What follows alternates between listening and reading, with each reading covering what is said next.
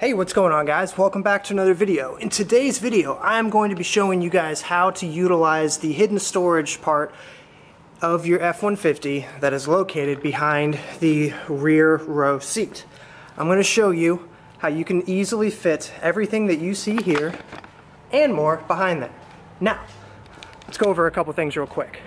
What I'm not talking about is like the under seat storage thing that I'm sure like most people know about like this guy right here. What I'm not going to be talking about is the thing that you can buy that slides in here. You've seen it on my channel before. It kind of like slides all the way out and provides more storage under here. What I'm talking about is that.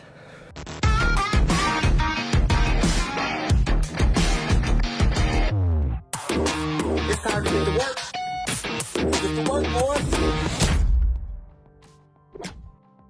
So sorry if I did that super quickly, but obviously this is the rear back. If you fold this seat down, you have all of this room back here that can be used for storage.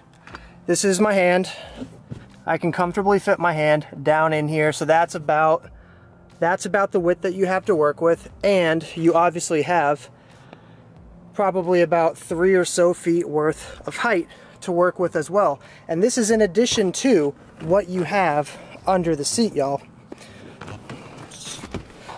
So you have everything that you just saw back there. You obviously, you have under here, and you have the option if you want to buy like the extender that gives you like a storage bin that runs the length of here. But if y'all don't believe me that it is as big as I'm saying it is, I'm gonna go take everything that I just showed you back in my driveway and show you how you can easily fit some of the essentials that every person should probably have in their car comfortably, safely, and secretly back here. All right, so I grabbed everything from the driveway. Show y'all one more time. So we've got two-piece fishing rod, both pieces right here. We've got a full-size umbrella. I've got fishing lures in here, but that box could honestly have anything in it. We've got zip ties, interior wipes, Earmuffs, spare hat, gotta have plenty of these. Tow strap. This is a bag of jumper cables. Looks like it's already fallen into place perfectly back there. I'm gonna throw everything in here right now. I'll show you guys how nice and snugly it fits. Seat is down and we've got everything back here. We've got hat, jumper cables, miscellaneous box, tow strap, just proving to you guys two-piece fishing rod, earmuffs, interior wipes, zip ties. Umbrella is at the very bottom. You can see the handle right down there. This fits very easily. And as you can see, the seat still goes back perfectly. There's no issues here. And taking a step back here, who would ever think that there is so much stuff hidden or stored behind this back seat? Now don't worry, I'm not gonna skip over the part where I show you how to actually get this seat down to access the storage. Step one will be to come to the back seat right here, grab on your little strap here, pull and lift your seat up at the same time.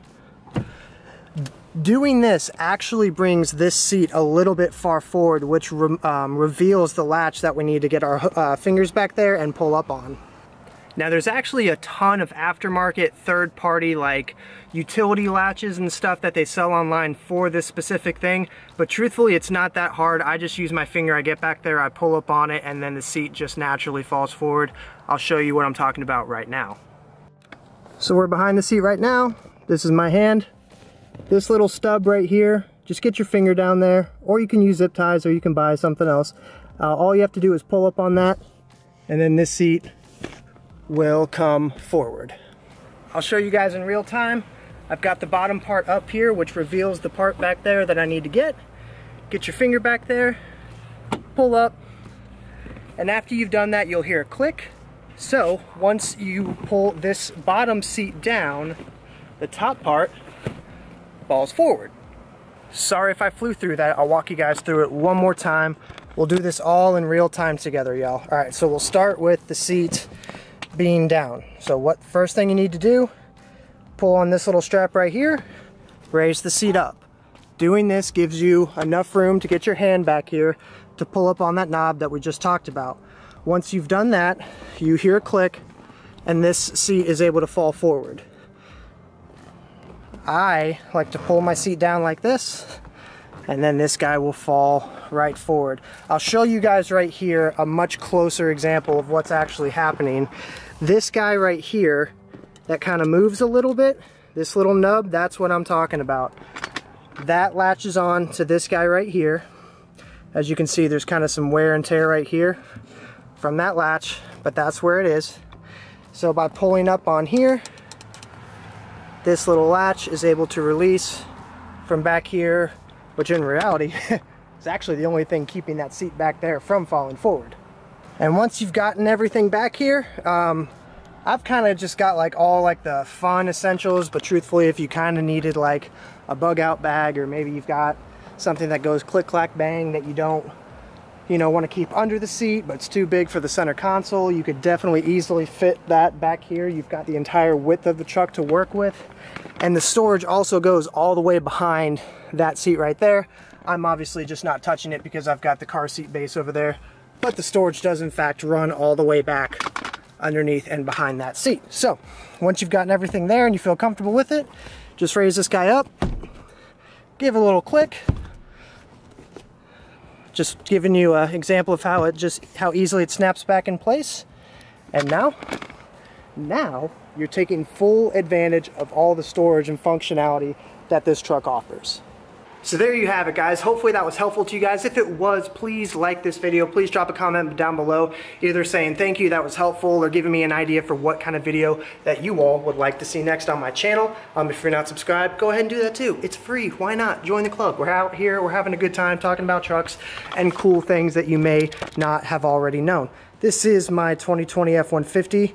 This is the truck that we're using it on today. I believe I don't know how far back this goes to be honest, but I believe that this should apply all the way back to at least the 2015 models, potentially even the like 2013-ish model as well. But thank you guys so much for watching. If you guys have any questions, comments, or concerns, please leave them down below and I will do my best to get back to every single one of you. Thank you so much for watching. We'll see you guys in the next video. Peace!